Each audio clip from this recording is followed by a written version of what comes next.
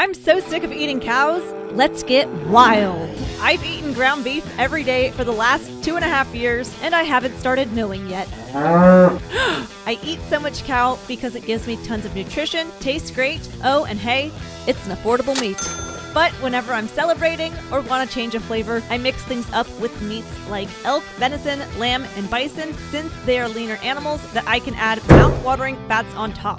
When I eat cow, I usually don't add much fat on top since cows already have enough for me, and if I add too much fat on top of my cow meals, then I start gaining fat. Holy cow.